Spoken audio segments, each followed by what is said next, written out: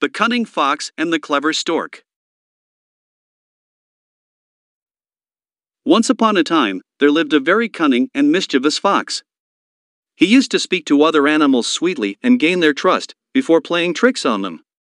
One day the fox met a stork. He befriended the stork and acted like a very good friend.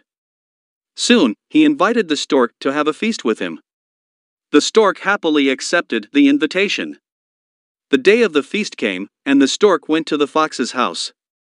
To her surprise and disappointment, the fox said that he could not make a big feast as promised and just offered some soup.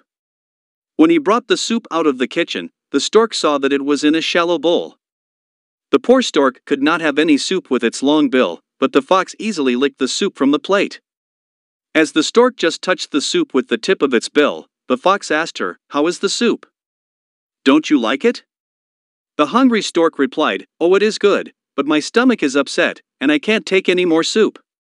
I'm sorry for troubling you, said the fox. The stork replied, Oh dear, please don't say sorry.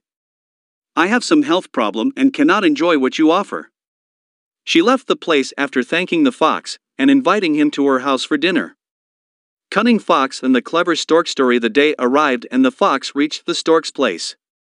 After exchanging pleasantries, the stork served soup for both of them in a narrow jar with a long neck.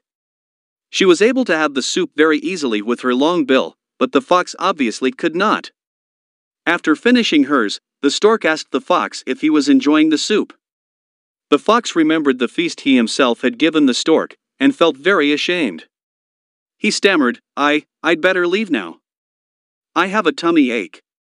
Humiliated, he left the place running. Moral One bad turn begets another.